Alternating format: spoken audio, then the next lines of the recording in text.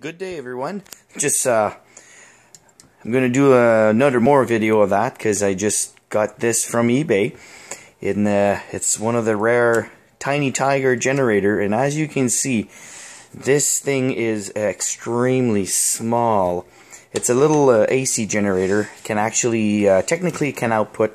I think this one is 300 watt AC at 120 or 117 volt and I have an output of 12 volt at 12 amp.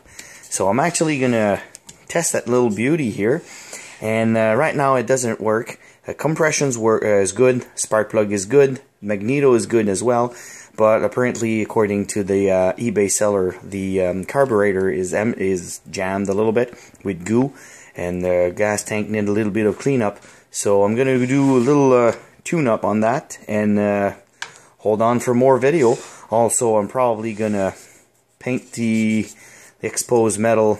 Well, this is actually aluminum, so, but I think a good uh, barbecue barbecue black should suit it well for that.